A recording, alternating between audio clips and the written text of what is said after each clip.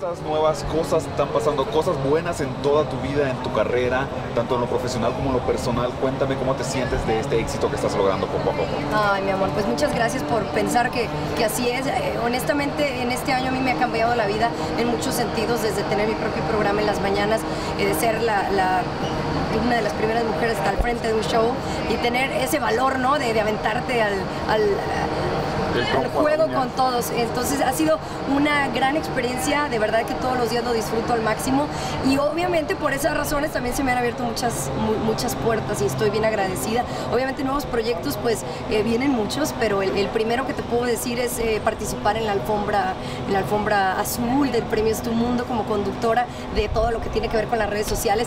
Así que honestamente que te tomen en consideración y que digan, sabes que nosotros queremos que seas parte del proyecto, me llena de mucha felicidad. Y parte de la boda. Entonces es como que tengo que estar en todo y menos en misa. Así que estoy a tres meses de la boda y me hace falta mucho por hacer.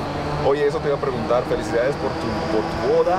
Este, ¿Dónde va a ser? ¿Qué nos puedes detallar, adelantar de eso? Pues bueno, ya mucha gente sabe que va a ser en México, va a ser en Jalisco, en una de las playas más hermosas que tiene Jalisco, que es Puerto Vallarta.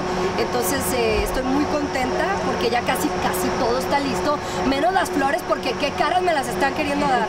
Pero ahí vamos, ahí vamos. Tengo gente que me está ayudando, pero mi mente está en todos lados, ¿no? está en la radio, luego en la tele, me voy a Miami.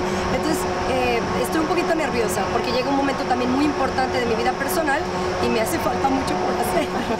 Oye, la luna de miel, ¿te vas a tomar unas vacaciones con tanto trabajo que tienes o no va a haber chance de disfrutar esa luna de miel? Mira, honestamente no tenemos planeada la luna de miel todavía porque estoy en espera de que si me ofrecen un proyecto o no.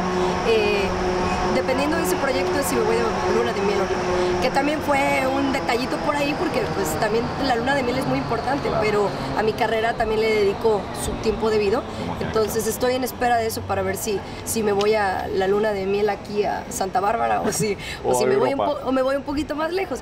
No creo que hasta Europa porque no creo que la radio me dejen faltar tantos días. Pero en eso estamos. Estoy tomando todos los días, ahora sí como, como los alcohólicos, cada 24 horas. step by step. Poquito a poco, así se, así se logran los grandes éxitos. Señorita, le deseamos lo mejor de los éxitos y felicidades. Gracias, gracias a ti y a toda la gente que nos ve por ahí en pantalla. Besitos.